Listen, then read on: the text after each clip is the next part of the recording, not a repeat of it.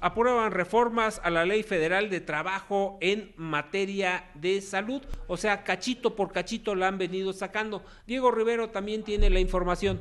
La Cámara de Diputados aprobó reformas para que se actualicen las tablas de enfermedades y de evaluación de incapacidades permanentes por riesgo de trabajo. El órgano legislativo hizo reformas a la Ley Federal del Trabajo a fin de que la Secretaría del Ramo, previa aprobación de la Comisión Consultiva Nacional de Seguridad y Salud en el Trabajo, realice dicha actualización con 303 votos a favor, 86 en contra y 10 abstenciones. En lo general se dio luz verde al dictamen que reforma los artículos 513 y 515 y se adiciona el artículo 115 bis a dicha ley. Ahí se establece que la Secretaría del Trabajo actualizará las tablas de enfermedades y de evaluación de incapacidades permanentes resultantes de los riesgos de trabajo. Esto a partir de investigaciones y estudios necesarios conforme al progreso de la medicina de trabajo. Así, el reglamento en materia de seguridad y salud en el trabajo establecerá aspectos y tipos de información que deberán contener las tablas de enfermedades de trabajo y de evaluación de las incapacidades permanentes. Además, establece que el titular de la dependencia deberá expedir las tablas de enfermedades y de evaluación de incapacidades permanentes resultantes de los riesgos de trabajo en un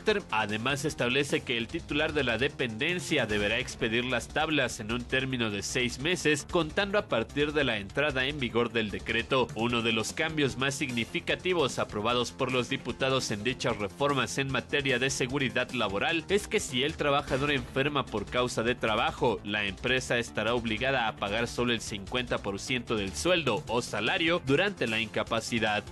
Para el punto crítico, Diego Rivero. Vámonos a Cámara de Diputados. Ahí está nuestro